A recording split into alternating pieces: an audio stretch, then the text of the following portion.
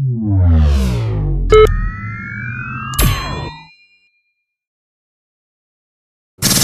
Yo les amis, les petits DJ, salut à tous, euh, bienvenue pour cette vidéo assez rapide. Donc, eh bien, je me trouve actuellement dans mon local, mon petit local de spectacle, où je bricole un petit peu, où je fais pas mal euh, de tests et euh, tout ce qui concerne le son, les lumières et tout ça, et tout ça, et tout ça.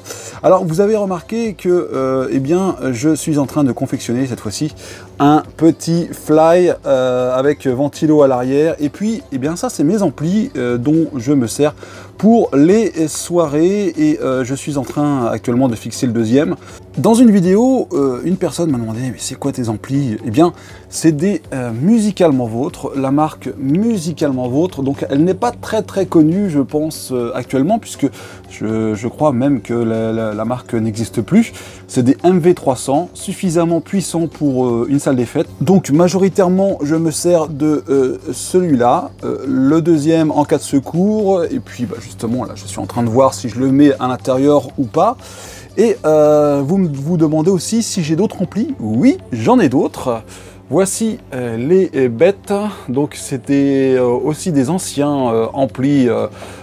alors il y a la marque Amix, hein, je ne sais pas si vous connaissez. Celui-là, je le prête à des amis et un superbe et magnifique Yamaha, eh bien, qui est en état de marche évidemment, hein, ça fonctionne toujours, 1300 watts dans la tête, avec évidemment hein, le niveau aiguille que j'adore, moi je suis super hyper hyper méga fan euh, de ces vieux engins là, donc ils fonctionnent très bien, voilà, je peux vous les mettre en route, regardez, voilà, ils sont sous tension.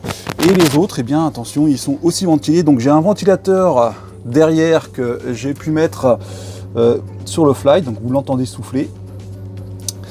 Et euh, bah, j'ai aussi deux ventilos à l'intérieur de cela. Voilà, c'est ce que vous entendez dans mes vidéos en général quand j'allume la sono. Le deuxième avec.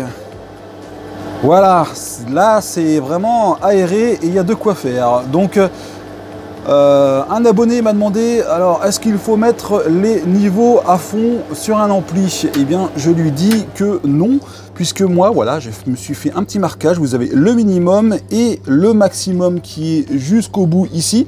Mais moi, je le mets un petit peu moins, évidemment, puisque on va essayer de ne pas court-circuiter un peu tout ça, puisque sinon ils se mettent en sécurité. Pratiquement tous les amplis se mettent en sécurité et vous risquerez de griller un petit peu les euh, composants à l'intérieur et tout ça. Donc là, il manque de boutons évidemment, hein, puisqu'ils ont de l'âge, ils ont beaucoup servi. Euh, surpuissance à fond pour ces amplis, pour cette petite présentation.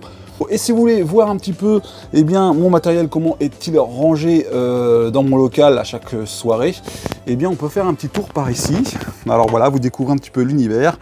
Euh, voilà, donc tout est un petit peu tassé. Hein. On va essayer de, de, voir ça. Donc vous avez ici les platines auxquelles je suis en train aussi de, bidouiller un petit peu.